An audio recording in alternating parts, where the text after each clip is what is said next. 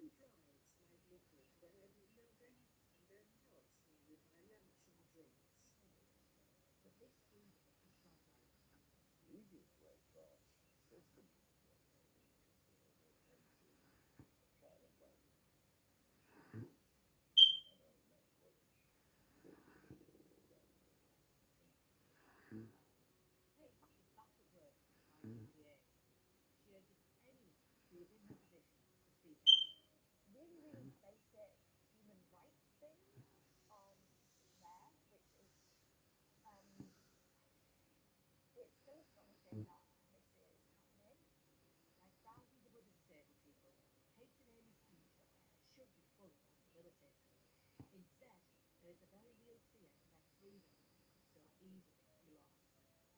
You play these scenes. The American actor Jeremy Renner has thanked mm.